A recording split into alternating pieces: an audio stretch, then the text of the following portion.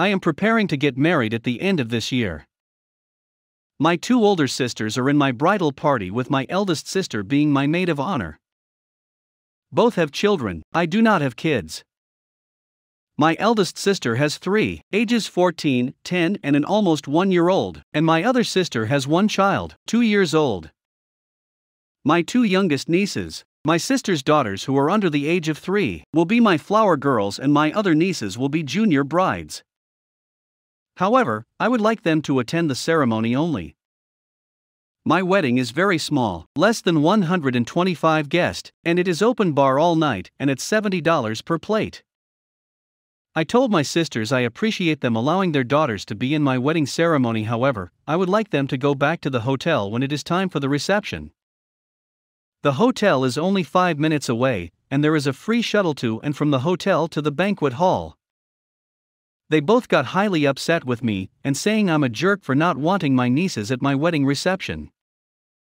My eldest sister went as far as to threaten to not pay for things she promised she'd pay for for my wedding.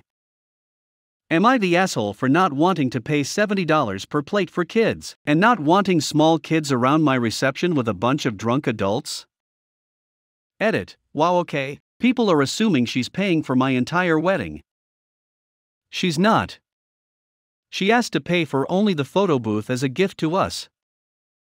Not the entire wedding.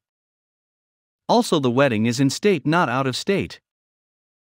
We got a hotel solely as a precaution for people won't have to drive home drunk due to us doing an open bar.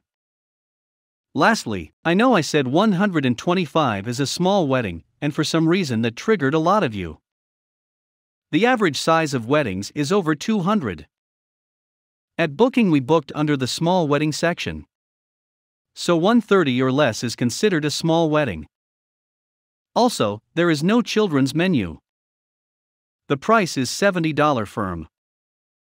I hope this clears things up. Thanks for watching. Don't forget to like, subscribe, share, comment, upvote, thumbs up, retweet, eat meat, and have a great day.